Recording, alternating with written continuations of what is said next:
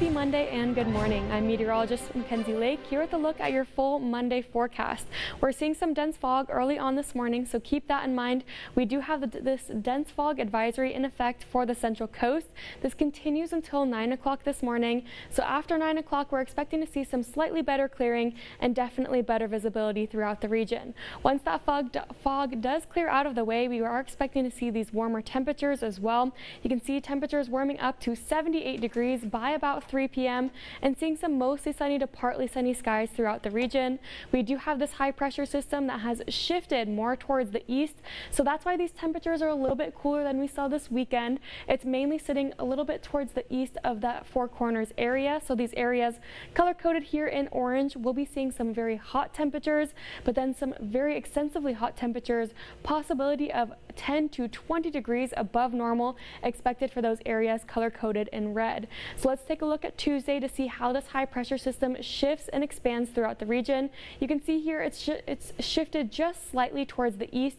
So these areas color coded in red here will be seeing some very extensively hot temperatures still. And these areas color coded in pink here we'll be seeing some very hot temperatures and some high humidity values. So that heat index is going to be sweltering for those areas.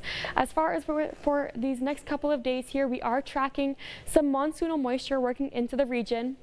We have these winds coming in from the south and southwest from the Gulf of California. So we can expect to see some very some humid days here. Possibility of some pop-up storms today and tomorrow. It's not looking likely and any storms we do see will be very minimal and towards the Ventura County eh, towards the Ventura County mountains. But you can see here as we head on into Tuesday still some very south southwesterly flow working its way in here. Again, not expecting to see much but definitely some higher humidity values values. For these next couple of days here, here is a look at your 6 to 10 day temperature outlook. This is issued by the National Weather Service, so luckily for us here towards the central coast, we look to be getting just a slight little bit of a break from all of this warm weather as that high pressure system continues to shift more and more towards the east. Temperature wise for the day today though, not too bad. 70s and 80s expected all along the central coast. Again, that fog will be keeping things a little bit cooler early on, but then warming up nicely. Those interior areas will be getting up into the triple digits for the day.